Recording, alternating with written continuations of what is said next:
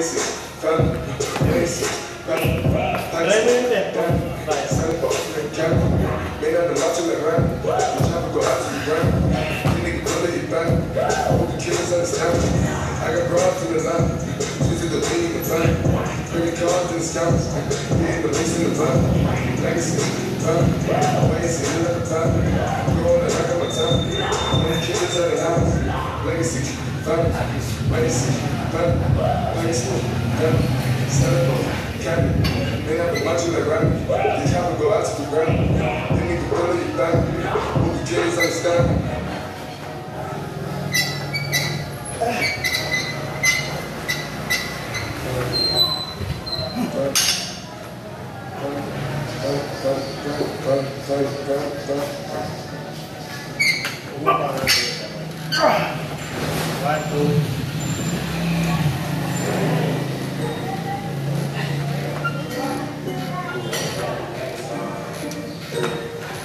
ada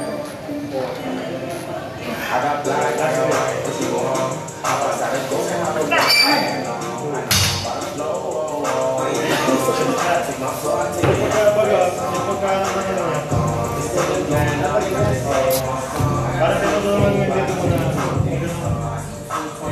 Good morning.